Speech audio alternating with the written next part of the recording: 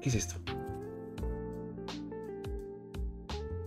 Bueno, mi tío Sargueto es la cagada. Oh, le mando un abrazo al tío Sargueto. Querido, como siempre, y odiado por otros, pero querido, querido.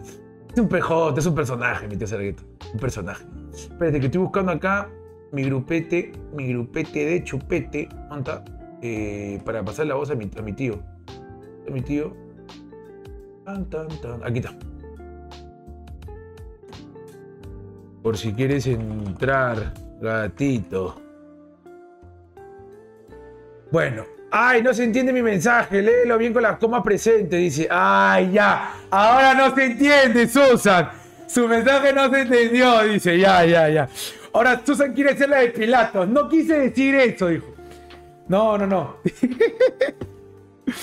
Está madre. Carlos Eduardo dice Juan Enrique Dupuy García y el otro es el presidente de Grauto.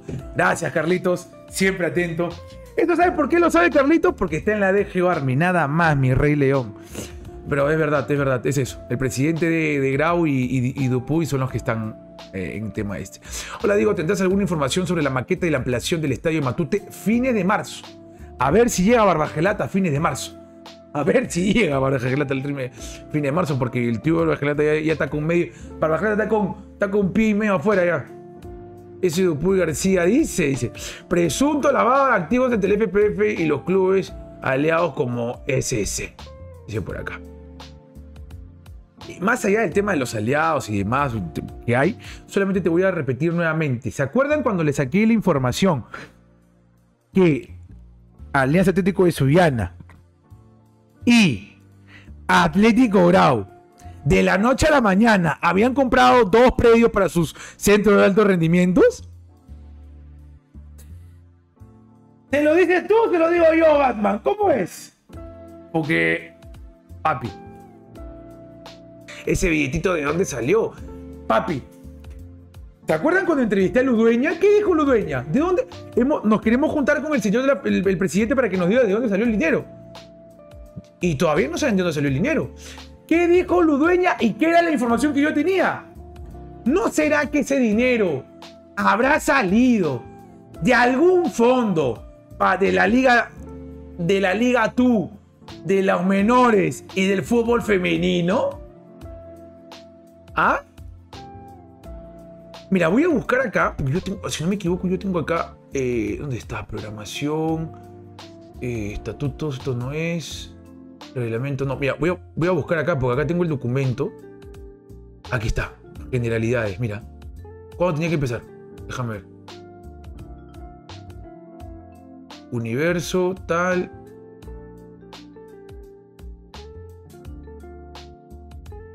Le voy, a, le voy a decir una cosa.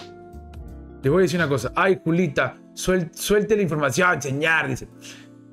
Mira esta huevada, mira esta huevada. Te lo voy a poner acá a continuación ya. Mira esto. Mira. Se lo mostré hace tiempo también, pero te lo voy a volver a mostrar para que veas. Creo que esto, esto, esto lo soltamos por acá. Igual, mira, mira, mira. Es que es lamentable, weón. Cuando soltamos el tema de los 500 mil dólares a los clubes, hablamos sobre ¿y qué va a pasar con el torneo de menores? ¿Qué va a pasar con el torneo de los demás? ¿No será, que el, ¿No será que el dinero está saliendo de los menores? No sé si se acuerdan. Bueno, mira esto. Mira. ¿Cuándo tiene que haber iniciado el torneo de la Copa de, la Copa de Menores? Te pregunto. ¿Cuándo tenía que, ¿cuándo tenía que iniciar? Mira. Te vas, a, te vas a caer de culo. Objetivo, reactivar el fútbol juvenil buscando la mejora de la calidad de las competencias, universo 8.500 jugadores, ámbito Lima, categorías sub-13, 2010, sub-14, sub-15, sub-16, sub-17 y sub-18. Copa de oro, copa de plata, copa, copa de plata A, copa de plata B, copa de plata promocional. Seguimos. Mira esto, ¿ah? Mira esto. Mira. Desarrollo, fútbol 11, ta, ta, ta, ta sub 15, profesionales. Mira cuándo te tuvo que haber empezado, ¿ah? Mira. Primera etapa. ¿Qué dice acá? ¿Qué dice ahí? ¿El torneo se inició? ¿El torneo? ¿Los torneos se han iniciado? Pregunta. Pregunta, hermano, porque yo soy un poquito, soy un poquito tonto y no puedo leer. ¿Qué dice ahí? ¿Cuándo tuvo que haber iniciado? ¿Hoy qué día es? Hoy es 7, ¿no? Hoy es 7, ¿no? ¿Cuándo tuvo que haber iniciado? El 4 de marzo. ¿Se inició el torneo? ¿Se inició el torneo? Ya. No, no, no tengo que decir más, ¿no? No tengo que decir más, ¿no? No tengo que decir más.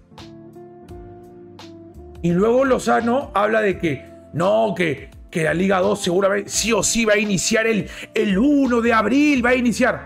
¿Cómo te puedo creer si el, el desarrollo de fútbol de menores, que es lo más importante en el país, te importa una buena mierda y ni siquiera iniciado?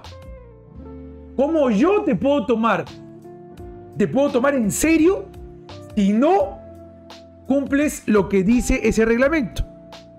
¿Ah? ¿Cómo yo te puedo tomar en serio? Acuérdense de las fechas, ¿ah? 4 de marzo, 22 de julio, 12 de agosto, 9 de diciembre y enero, febrero del 2024. Las finalidades. Acuérdense. Acuérdense de las fechas. Acuérdense, carajo. ¿Dónde está? Por eso lo digo. Es esto es cualquier cosa, es un mamarracho. Luego el tipesmo este sale hablando, el fútbol de menores, esta es nuestra, nuestra preocupación, eso es lo que queremos. ¿Cuál fútbol de menores si ni siquiera se ha arrancado? ¿Cuál fútbol de menores me estás hablando? No me jodas, por favor, ¿ah? no me jodas, ¿eh? no me jodas. ¿eh? De verdad, te soy sincero, hay, había equipos de la Liga 2 que no podían ni armar su plantel porque no les había caído su dinero. Qué raro, ¿no? ¿No será que los 500 mil dólares habrán salido, los primeros 500 mil dólares habrán salido de dinero que estaba destinado para fútbol femenino, menores y, segunda división? ¿Cómo te quedas? ¿Cómo te quedas? ¿Qué te, qué te puedo decir, hermano? Ya? No te, no te puedo decir algo que ya no sepa. Todo lo sabes ya. Ya sabes todo. Ya sabes todo. O sea, este tipo, Lozano es una basura, huevón. Es una cagada. Pero van a ir cayendo. Van a ir cayendo como cucarachas. Pero bueno, como les comentaba, Ludueña nos comentó a nosotros de que no sabían de dónde salía ese dinero. Ese dinero de. acerca de el, que no, sabía de dónde salía ese dinero acerca de los 500 mil dólares para los clubes y por qué no se los daba a todos. Si al final el concepto era por infraestructura y para el avance del fútbol peruano, ¿por qué? ¿Por qué no se lo daban a todos los, clubes del fútbol peruano? ¿O es que hay que acatar lo que pide la FPF para recibir? Si, clara, si claramente dice que el dinero va a ser recibido a todos. ¿Por qué tenían que hacer eso? Punto número uno. Punto número dos. En esa entrevista, el señor Sergio Ludueña nos aclara una cosa. ¿Saben qué es lo más? Dijo así, ¿ah? Lo más jodido de toda la entrevista y tal, que dijo. ¿Saben qué es lo peor de todo? Menciona. Bueno, ya, da los 500 mil dólares. Dijo, ¿Hay constancia de esos 500 mil dólares? ¿Hay un papelito? ¿Hay algo? Revisa la entrevista de hace casi un mes y medio. No existe constancia de los 500 mil dólares. No existe. Porque existe constancia de dónde venía. Memoria. Haz memoria. Yo no te estoy inventando nada. Te vas hace un mes atrás y puedes encontrar esa entrevista ahí. A raíz de eso, a raíz de eso, a raíz de eso, eh, sí, me puse en modo frío mental. A raíz de eso, es donde querían ver de dónde salía el dinero. Y yo les comenté hace un rato, les mostré el tema de las bases. ¿Ah? La base, perdón, les, mostré el, tema de la base del torneo menores. ¿Habrá salido de ahí?